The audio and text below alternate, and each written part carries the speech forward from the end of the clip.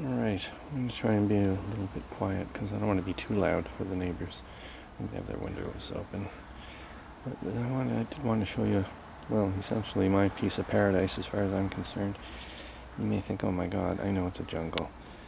You've seen this before, and the Japanese beetles have just eaten my ferns alive. There's Leo, and it's like, you can see I'm just using a plank of wood extended from my stairs, my black veranda thing, onto a stool. It doesn't, like, it's pretty, pretty pathetic, I guess. But, um, Leo's happier now. He loves it. I love it. Spend a ton of time here and no one can see me.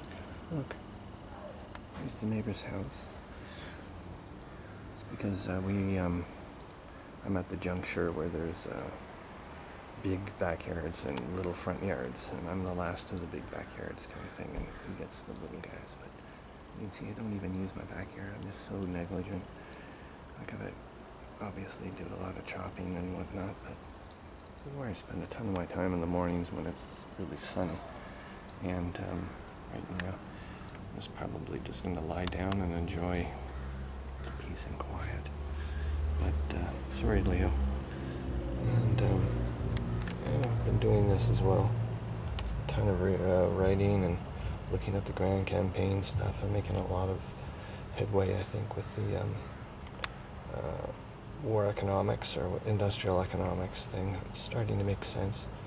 And uh, yeah, still a long way to go, but um, yeah, I think I picked a kind of a, a, a relatively easy uh, one to start with with Austria-Hungary just due to the fact that they're so um, tiny.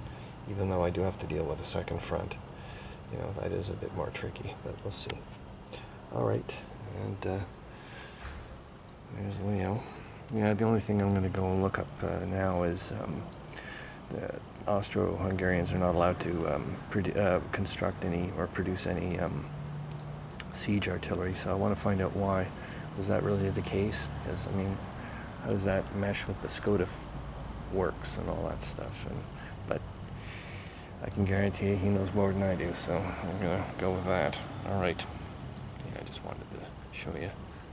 This is just like absolute paradise for me. And lately, oh, I don't know if you can be able to see it, but we've just had some amazing clouds. So I've been looking up there and pretending, you know, there's the cloud giants cloud and all that stuff and whatever.